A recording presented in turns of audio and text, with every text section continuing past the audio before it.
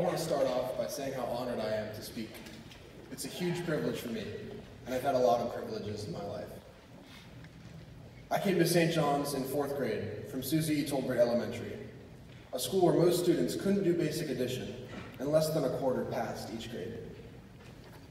I was lucky enough to afford the opportunities that St. John's had to offer. St. John's became my home because of the love the teachers gave me, as well as the high academic expectations they had for me. And not to name any names, but Mrs. Morgan, Mrs. Franzoni, and Mrs. Heath were my favorite back then. that year, I decided I wanted to go to Duke University after I graduated St. John's. My mom told me, you have to work hard if you want to go to Duke, and that's when I set my goal. Also that year, I met the people I would be spending the next eight years of my life with, and some of them turned out to be my best friends. Since then, all of us have come a long way. When I decided to go to St. John's, Michael Jackson was still alive, and the top-selling movies were Harry Potter and the Half-Blood Prince and Ice Age Dawn of the Dinosaurs. The Marvel Cinematic Universe began then with the release of Iron Man, and the MCU ended this year, the year of our graduation, with Avengers Endgame. Even before that, most of my classmates came to St. John's during the founding of YouTube, years before the founding of the first iPhone and Netflix streaming. Most of my classmates came to St. John's when America was celebrating its first legal gay marriage, a huge step for human rights.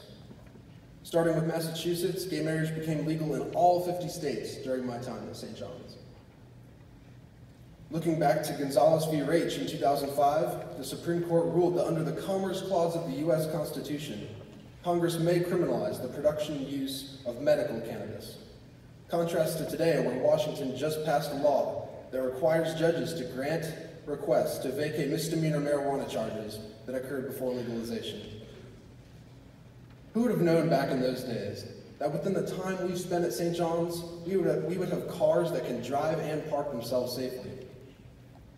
Who would have known back then that we would be able to program stem cells that we would discover the largest black hole known to man, that we would confirm the existence of such strange phenomena as dark matter and gravitational waves, or that we would land a rocket after sending it to outer space. And what will we do? Someday, somebody is going to be talking at their graduation, or at the dinner table, or at a party, or talking to somebody late at night about the marvelous advancements in technology and society and how far we've come and we're going to be the ones that they're talking about. It's our turn to change the world. With all that said, St. John's gave us the tools to achieve whatever we want. And that was made clear to me from the end product of the senior symposiums, with topics ranging from tax reform to mental health awareness. St. John's certainly wasn't easy.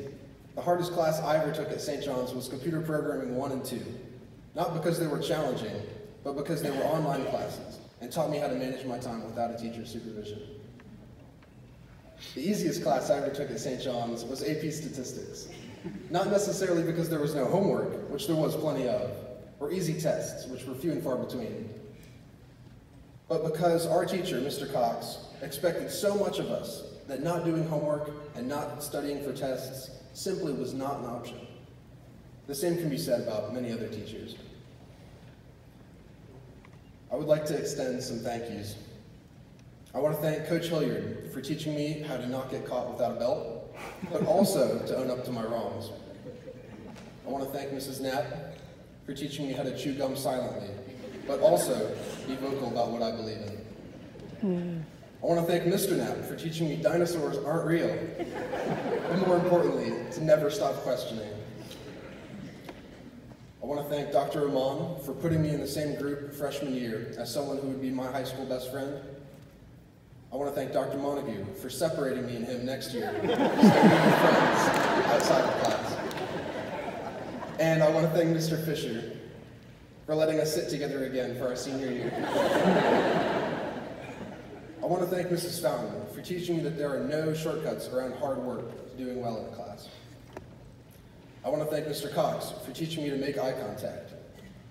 I want to thank Mr. O for teaching me to pay attention in class and not get caught off guard by the ever-elusive O'Sullivan whoop.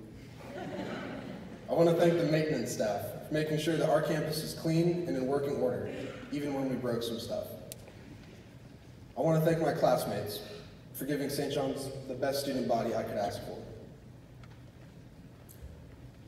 There's a lot of things I'm going to miss, and I'm sure I'm going to miss them more as time goes on. I'm going to miss trying my best to be on time to singers every morning. I'm going to miss Coach Hilliard holding the door to the upper school in the morning, and Mr. Cox and Mr. O holding the door after flag. And I'm going to miss hearing people sing happy birthday to Joseph Shimko every day. I'm going to miss trying to contain my first grader's excitement when she sees me every morning. I'm going to miss Mrs. Garrison's reading checks, even on the days I forgot to read. I'm going to miss Mrs. Herzog's grueling in-class essays and Mr. Cox's do nows, especially when I was early to class and got a head start. I'm going to miss running through the halls the night before senior prank day, sticking forks in the quad and putting Coach Hilliard's stapler in jello. I'm going to miss walking through the halls any day of the week and knowing anyone I pass. I'm going to miss eating lunch with my best friends every day. I'm even going to miss about I'm even going to miss worrying about getting into college, however stressful that was. It was motivating to have a goal set and be surrounded by people with similar goals. Now that all of us are about to embark and reap the benefits of our high school goals, I encourage all of you to set expectations and continue striving towards more goals of your own. In the future, we will, be, we will all be sitting at our kids' graduation or our grandkids' graduation, and we'll ask ourselves, which of our goals did we achieve? And what, what did we do for their generation? I will leave you with a quote from Henry David Thoreau. He says, If you have built castles in the air, your work need not be lost. That is where they should be. Now put the foundations under them. We already have our castles in the air, the castles built by our hard work and our dedicated teachers. And the next years will be the foundation for the rest of our lives. Now go. Enter this new world with alacrity and curiosity, but also enter with gratitude for the deeds of the people who got you here. Thank you all for an unforgettable high school experience, and I can't wait to see where these next few years take us.